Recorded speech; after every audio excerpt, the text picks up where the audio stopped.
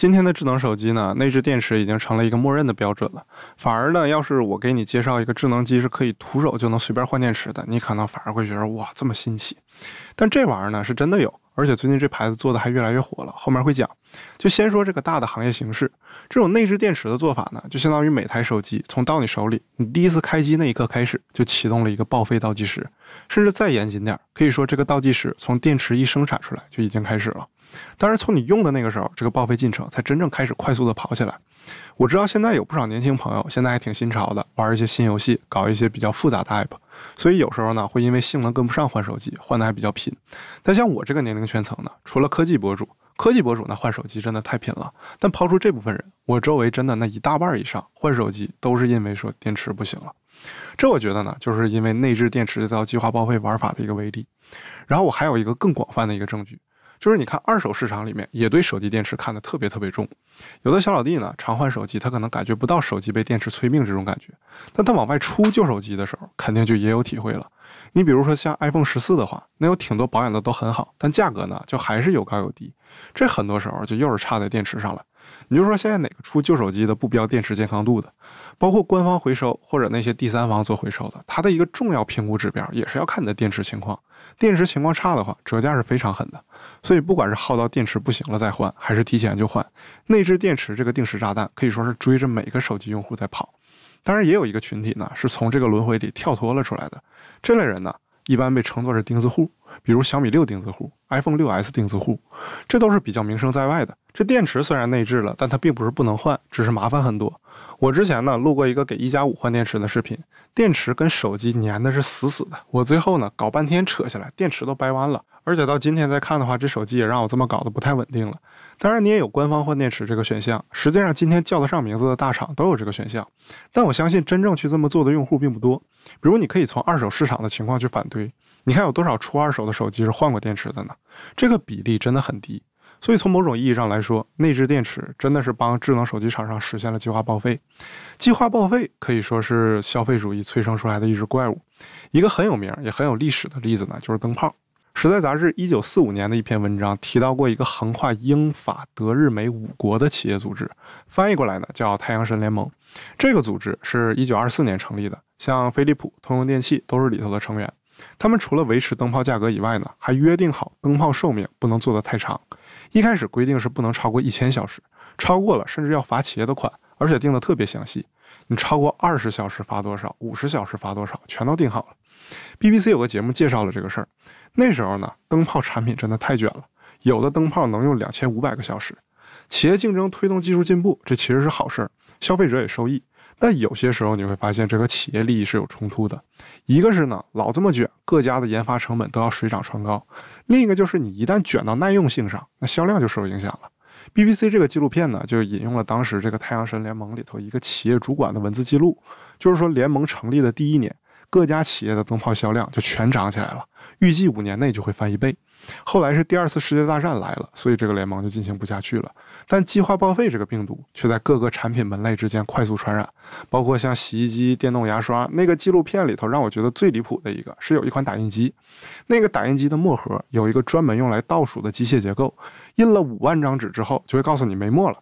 打印机呢也就停止工作了。但如果你能心灵手巧的把齿轮给调回去，你会发现呢，其实还有墨，甚至这里头的墨足够你把这个倒数计时重置三次，也就是说，你其实至少还能再打十万张纸。我觉得这都已经属于是犯罪了。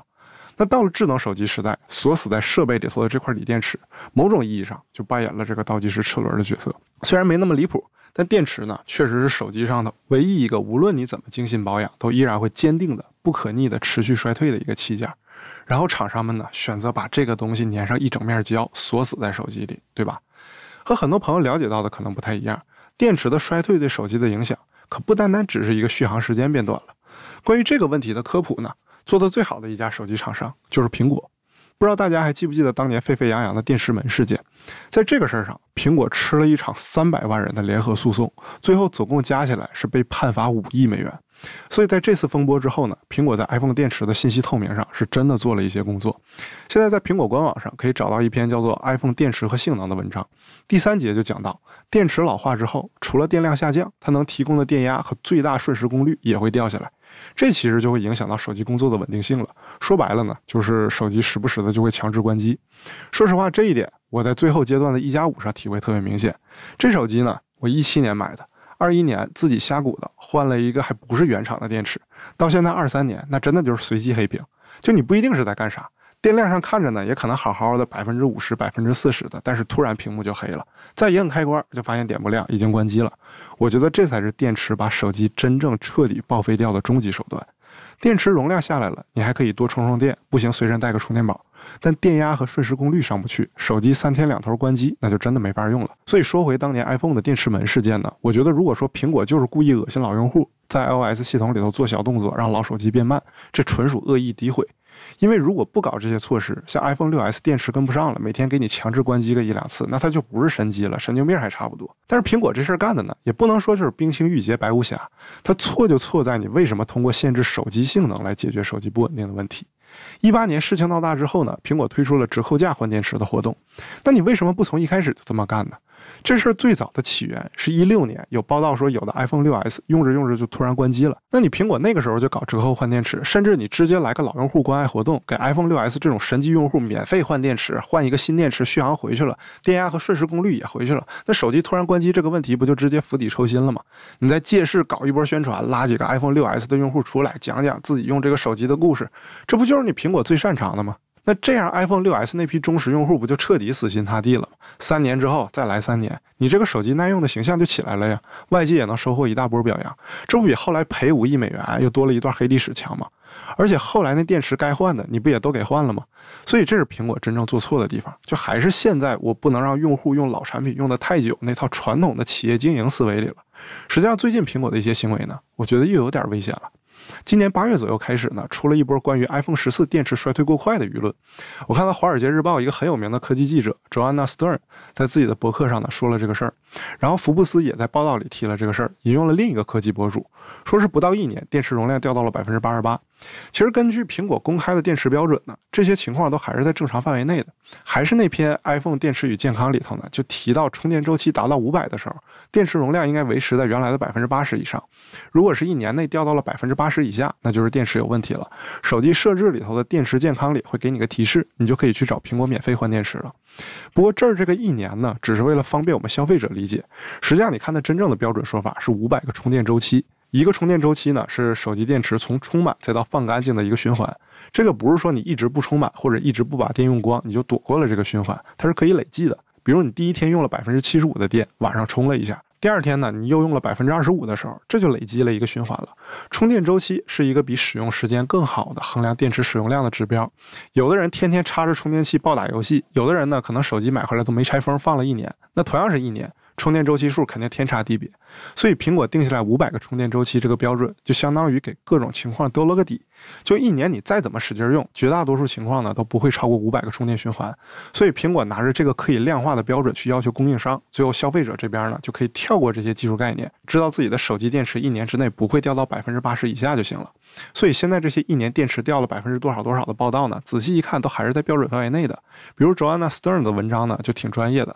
他说自己的 iPhone 十四 Pro 电池用了十一个月，掉到了百分之八十八，但他也给出来了自己充电周期的数据是四百五十一。那这个呢，其实就是手机用的很猛的一个还算正常的结果。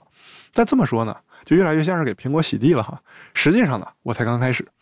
现在关于 iPhone 这块电池的真正问题是呢，作为一个锁死在手机里头很不好换的器件，五百个充电周期，容量保持百分之八十以上，这个标准本身做得到问心无愧吗？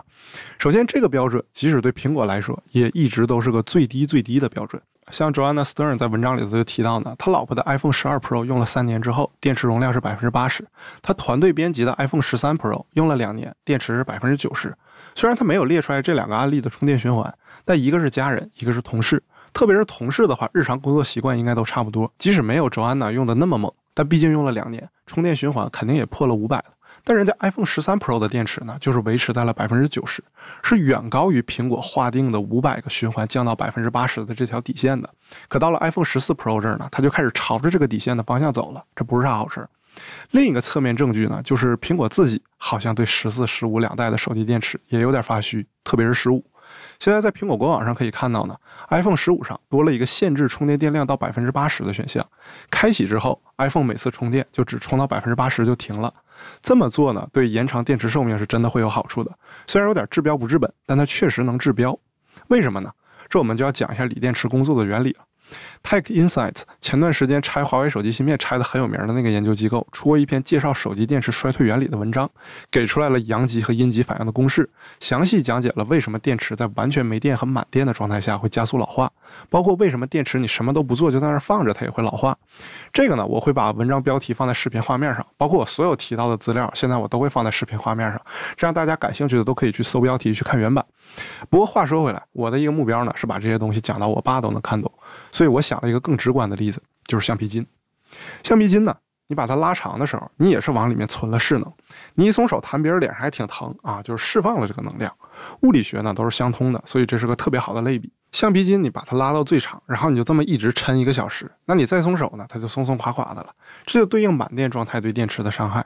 如果你把橡皮筋撑开的同时呢，再去大太阳底下晒一会儿，那它软的就更快了。这就是高温对电池的进一步破坏。还有一个角度需要点生活经验，就是你会发现呢，长期不用的橡皮筋也会变硬变脆，一拉就断了，寿命呢可能还没有你经常用的情况下长。这个对应的呢就是低电量对电池的破坏。不过今天咱们呢还是主要关注高电量和高温的问题。今天 iPhone 电池的生存环境其实是越来越险恶了。有一个点大家可能会比较意外，就是二零年底苹果推出的 MagSafe 无线充电生态，这个东西真的太方便了，我也搞了一个，但它其实带来了一个问题，就是现在 iPhone 很多时候都处在很伤电池的满电状态。不过实际上苹果提前就做了个准备，二零一九年的 iOS 十三就加入了一个新功能，叫优化电池充电。就是 iPhone 会通过机器学习算法来判断你是不是要长时间充电了。如果是的话，它就估计一个你可能要用手机的时间，电量充到百分之八十以上之后就慢点儿，等到估计你差不多要用了的时候呢，再给它充满，尽可能减少手机维持在高电量上的时间。但人呢又不是机器人，对吧？你不可能每天都那么固定的准点用手机，特别是白天无线充电这种场景，你随时都有可能把手机拿起来，随时也有可能放回去。所以苹果这种优化呢，对这种场景的作用就非常有限。实际上我就没怎么见过白天它启动这个充电优化，大部分时候我手机的电都是满的，这其实对手机电池就不是很好。然后呢，这两年手机 App 的消耗也在变大，特别是游戏，像 iPhone 十五现在还要去卷大型游戏，那无论优化做的再怎么好，顶多是做到不烫手，发热一定是跑不了的。毕竟计算压力在这摆着，这就又给 iPhone 的电池寿命上了点压力。所以咱们看到 iPhone 十五上多了个独占功能，就是把充电上限锁死在百分之八十。可这不就又有点当年通过限制性能来避免旧电池带崩整个手机那味儿了吗？所以我说，我觉得苹果这么干又有点危险了。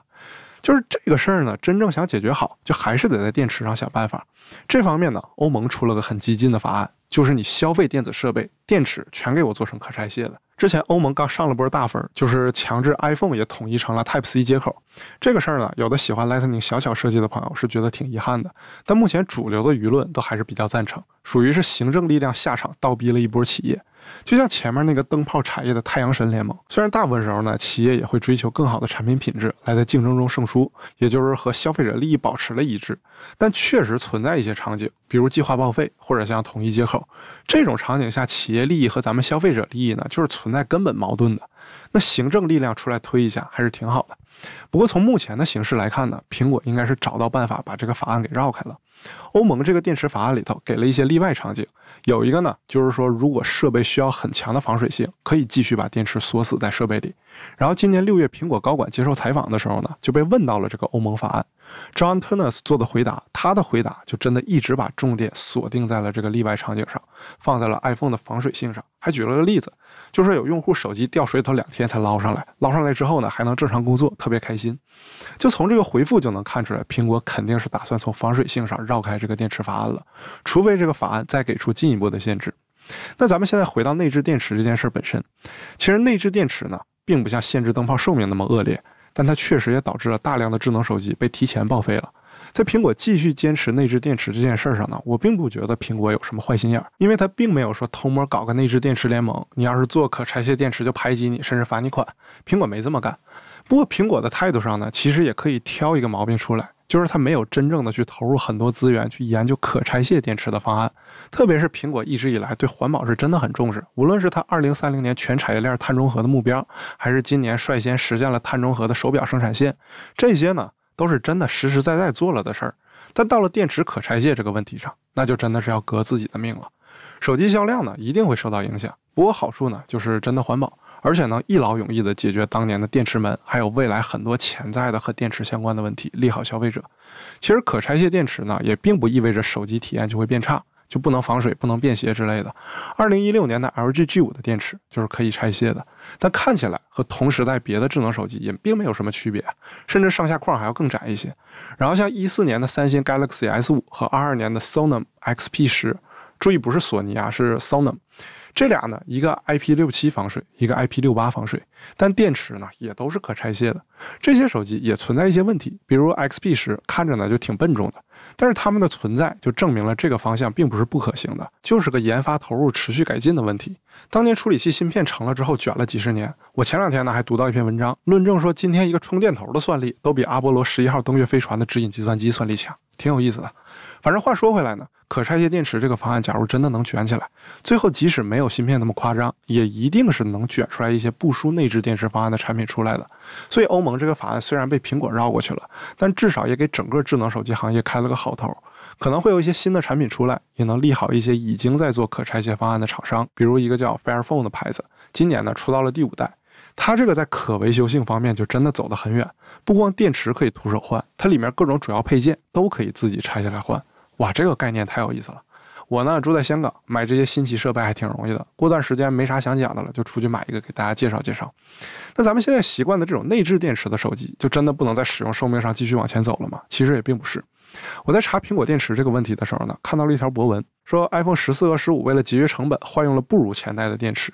这种个人来源的信息呢，可信度没啥保证，所以我之前并没有拎出来跟大家说。但它起了个非常重要的指路作用，就是他说 iPhone 电池五百个充电循环维持百分之八十电量的这个标准定的比较低。有个叫 BBK 的联盟旗下的手机能一路撑到一千六百个充电周期之后，电池才降到百分之八十。我一看这 BBK 何方神圣啊？一查，哎呀，这不步步高吗？就如果把步步高看成一个派系的话，那其实今天的 OPPO、vivo、一加、realme、iQOO 都是从老步步高派生出来的。不过今天的重点呢是电池。那篇博文提到的一千六百个充电循环才降到百分之八十的电池呢，是真实存在的。而且我找到了好几篇报道交叉验证。最早这个离谱的东西呢，应该是被放进了二二年三月的 OPPO Find X5 Pro 上，然后呢又出现在了 OPPO Reno 8 Pro 和9 Pro 上。之前咱们提到的 Tech Insights 讲电池原理的那篇文章呢，实际上就是一篇关于 Reno 9 Pro 电池的拆解报告，就是为了看看这玩意儿到底是咋做出来的，这电池到底是啥原理。然后这个电池呢，还在步步高派系里头横向扩散。我查到的呢，包括一加十一、Realme GT Neo 3，还有 iQOO 10 Pro，应该都上了这款神奇的东西。就以上中奖名单的观众呢，欢迎分享一下这个电池的实际使用体验，我真的很好奇。就如果这个数据没造假的话，那它能撑住的充电周期是 iPhone 电池的三倍，而且这还是顶着一两百瓦的快充速度达到的。像 iPhone 为了环保，为了尽可能延长电池寿命，是一直都没上快充的，因为快充带来的高温也会损伤电池。但步步高这伙人搞的这个东西呢，就各种不环保，快充直接一百五十瓦、二百瓦往上干，然后呢也没有 iPhone 十五限制最大电量百分之八十的环保措施，结果使用寿命是 iPhone 电池的三倍。说实话呢，有点尴尬。不过这至少说明呢，内置电池这套方案也是有希望的，更耐用的电池是存在的。如果这类电池能逐渐普及成行业标准，那其实手机用个四五年之后，电池都不会成为瓶颈，基本上呢也就够了。今天的主题要是说浓缩成一个词呢，那就是反消费主义。讲这么多，就是希望大家能多关注电池技术，选购手机的时候呢，把电池循环次数也考虑进来。然后呢，也可以多了解了解像 Fire Phone 这样的可拆卸式手机。如果 iPhone 用户的话呢，就把环保相关的选项能勾上都勾上。这些呢，对延长手机使用寿命都是有帮助的。就算你不打算一直用下去，卖二手的时候也能多回点血。